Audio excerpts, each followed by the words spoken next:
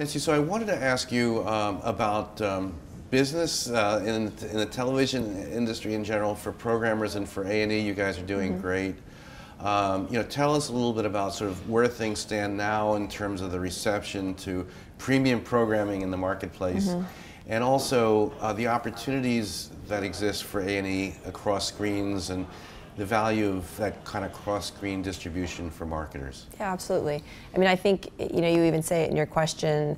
Um, you know, great television company, and I think we think about ourselves as a great content company now, and that even the definition of television and what that means is changing, and the quality of stories that we tell.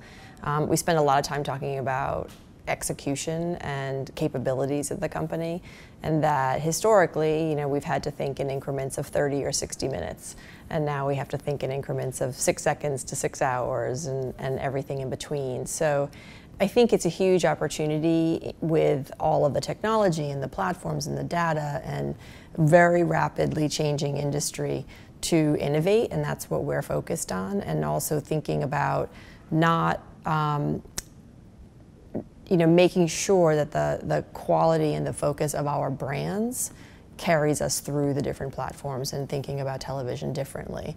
So what I say by that is sort of know thy audience is what we talk a lot about because with the emergence of data and with the kind of technology and the platforms that we're seeing, it's been more crucial than ever to know who you're speaking to and how you're speaking to them.